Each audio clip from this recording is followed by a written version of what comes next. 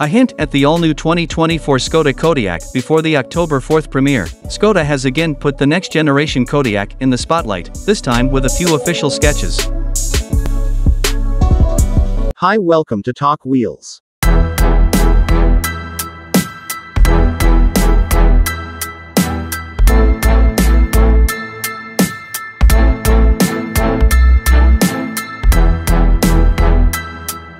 The brand's top crossover claims to be better in every way than its predecessor, but it won't look as dynamic or dramatic as the one in these pictures. The all-new Skoda Kodiaq is an improvement on the car that came out in 2017 and was based on the previous generation VW Tiguan, Allspace, Seat Tarraco, and Audi Q3.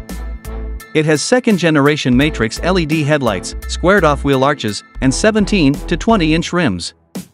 A dark chrome finish will be an option for the back pillars, but it will only be for this model.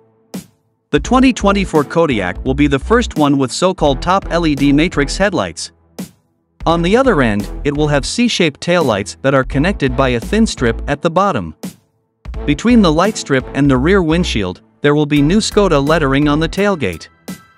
Further down, based on the engine and trim, there may be more emblems. With a length of 4,758 mm, 187.3 in, which is 61 mm, 2.4 in, longer than its predecessor, the new Kodiaq should have more room inside and a bit more space for goods. The interior has already been shown, and it looks like it was based on the new Volkswagen Tiguan and Passat variant.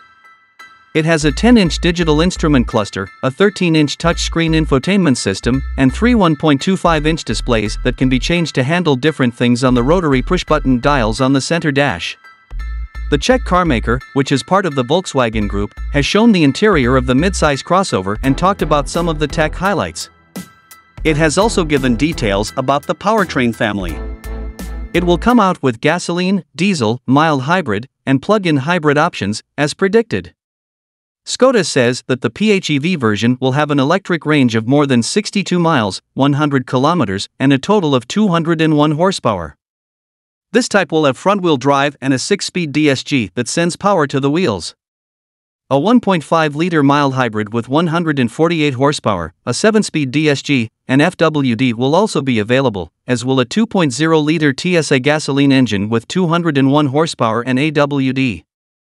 The 2.0 LTDIs with 148 horsepower and 190 horsepower, front-wheel drive and all-wheel drive, will be part of the diesel family. Both of the oil burners have a DSG with 7 gears. A battery electric version isn't coming, at least not yet.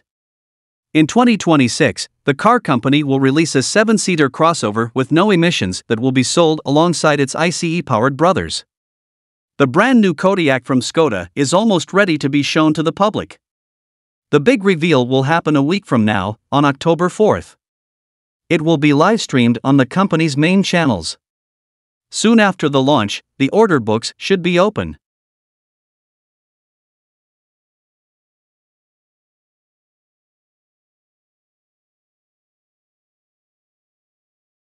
Please support our channel, like, comment, share and subscribe.